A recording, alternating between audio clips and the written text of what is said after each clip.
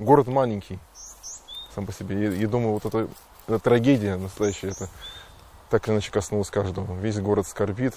Кемерово – большая диаспора татар. Ее представитель Мансур Саттаров говорит, о трагедии узнал на работе на сцене музыкального театра Кузбасса. Еле доиграл представление.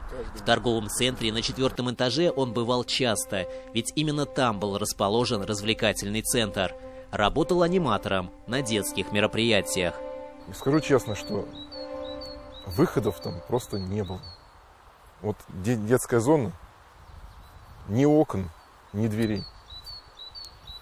То есть всего там два выхода было, по по эскалаторам. И лифт. Лифт, который не работал.